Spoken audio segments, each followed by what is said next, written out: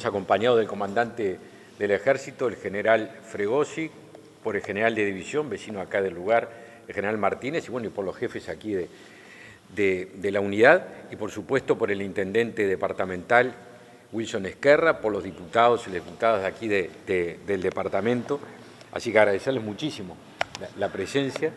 Y, este, y les contaba que llegamos ayer tarde porque queríamos estar presentes, en este caso en una hora que habitualmente no venimos, porque venimos muchas veces durante el día, pero en estos días de, frío polar, estar presentes saludando a quienes hacen los, los controles allí en, en Curticeira a la salida de Rivera y, y acompañarlos justamente porque uno vuelve a su casa pero los muchachos están allí, el, puesto de control toda la noche en, estas, en estos días gélidos y en estas noches complicadas. Así como estuvimos en Rivera anoche, hoy queríamos estar una vez más aquí en, Tacuarembó y, el intendente Escarra nos, nos llamó para, bueno, estar juntos, porque aquí hay una actividad, ustedes la vieron recién, que es muy importante desde el punto de vista social, el Ejército Nacional lleva adelante una, actividad de, cercanía y de compromiso con el pueblo. Y esa actividad de, cercanía y de compromiso con el pueblo se expresa estando al lado del pueblo y de la gente cuando más lo necesita. Y, en estos momentos que se están viviendo de, crisis sanitaria, de situación económica compleja, es el momento indicado donde bueno, hay que salir a la cancha y dar una mano y allí están este, el ejército preparando, como lo vieron ustedes, los, platos de comida, que en términos militares son plazas de comida. Los platos de comida, me decía recién el jefe de la unidad, y lo comentamos con el intendente, aquí se elaboran 400 platos por día. El año pasado fueron casi 45.000 platos de comida en todo el año. Para la gente más necesitada, un buen plato de guiso, de rancho caliente para, pasar estas horas difíciles. Y no solo la elaboración de los platos de comida, donde hay una, linda vinculación, porque acá es la Intendencia que colabora con las materias primas, el ejército que elabora y confecciona la comida, después se distribuye por, los tres barrios que se distribuyen la comida. No solo eso, sino también habilitar para cuando eh, en coordinación con el MIDES, sobrepasa la capacidad del MIDES el alojamiento para la gente que está en situación de calle, alojar aquí en la unidad a los tacuaremboenses y a los ciudadanos que, lo necesitan, cosa que ya se ha empezado hacer. Y ha sido eso, pero también es, como hablábamos hace un rato con el jefe, apoyar el plan de vacunación. Allí tenemos personal de la unidad que está apoyando el plan de vacunación. Y anoche veníamos en el avión de Montevideo a medianoche y nos dejó a nosotros en Rivera y dejó vacunas en Rivera y siguió para Artigas a dejar vacunas y para Salto este, dejando vacunas y traer jeringas y llevar respiradores y trasladar pacientes y todo lo que hay que hacer cuando se, se tiene la convicción de que lo más importante en estos momentos es ayudar a la gente. La defensa nacional habitualmente era un tema muy lejano para el ciudadano, porque se pensaba que la defensa es un tema militar y la defensa no es un tema militar, la defensa es un tema político y ciudadano.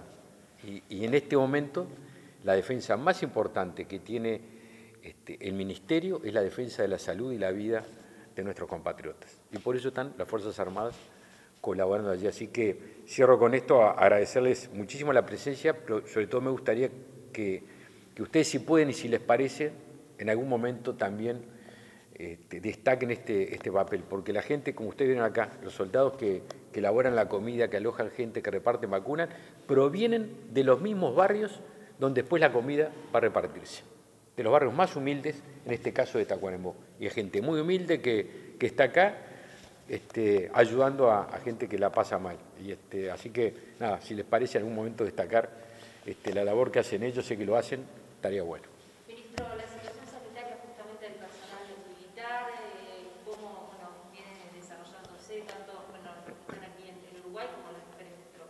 Bueno, viene muy conectado con lo que hablábamos recién.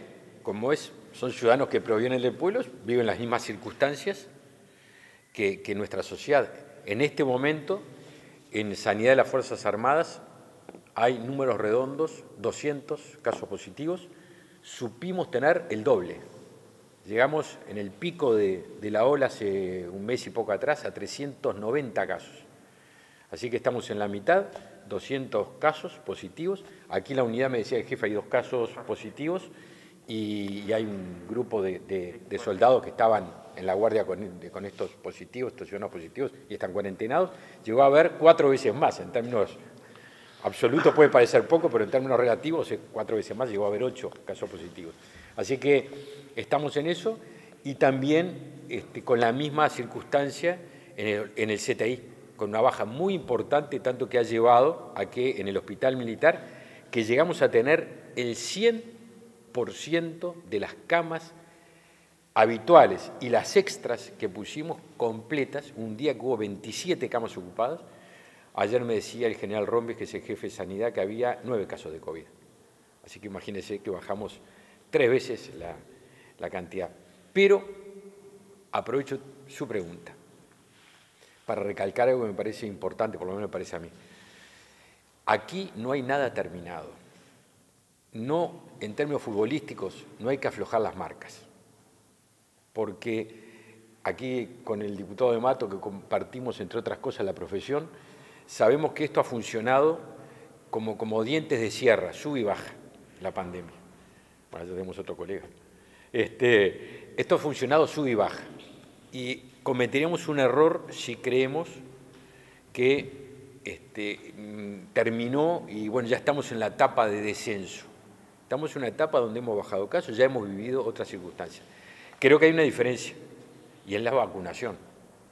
La vacunación es una diferencia sustancial con otras subidas y bajadas. Es que ahora tenemos un porcentaje de, vacunación que se está rimando y se va, a suceder en los próximos días inmediatos al 50% de la población uruguaya vacunada con dos dosis. Y eso en términos nacionales y mundiales es un porcentaje importantísimo. Así que ahora tenemos una gran defensa que no teníamos en otras circunstancias. Vamos bien, falta, este, tenemos una luz que está al final del camino que cada vez se, ve con más intensidad, pero a no aflojar las marcas y sobre todo en estos días de, un poco más de movilidad, pues los grises están en la casa y este, hay vacaciones, a tratar de mantener los contactos menos posibles y utilizar todas estas cosas y los tapabocas y todo lo que ya sabemos que hay que usar. No, nos parece sumamente importante, por supuesto, y trascendente para el departamento nos brinda la oportunidad de reconocer y agradecer a, la División de Ejército, al Quinto de Caballería y en ellos a todo el Ejército Nacional. Por eso el agradecimiento también al comandante jefe que está hoy acá presente en Tacuarembó, porque realmente es como lo dice el ministro, en cada acción, cada vez que, que sucede algo en Tacuarembó, un accidente climático, una inundación, yo recuerdo un día que cayeron más de 50 árboles en ruta 26 y la ruta quedó cortada y allí el personal del ejército a la media hora estaba trabajando y pasó toda la noche trabajando junto con el personal de la Intendencia Departamental y fueron quienes hicieron posible que al día siguiente, y recuerdo además que había una ambulancia del otro lado con un accidentado en una criolla, y fue gracias al ejército que esa persona tuvo una rápida asistencia y que nosotros salimos de ese, de ese sobresalto.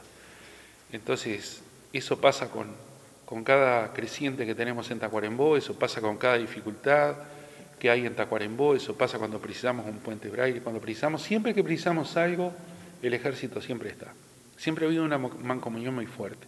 Y ahora en estos tiempos de invierno donde tenemos dificultades y en tiempos de pandemia que dificulta más todo el accionar, ahí como, como siempre está el ejército, eh, como lo dijo el ministro, con el corazón, eh, haciendo las cosas con afecto, con cariño y, bueno, y trabajando junto, junto al pueblo, junto a la gente, dando y tratando de brindarle las soluciones a cada caso y a cada demanda que nosotros tenemos eh, a nivel de la sociedad y, nosotros se lo trasladamos al Ejército Nacional.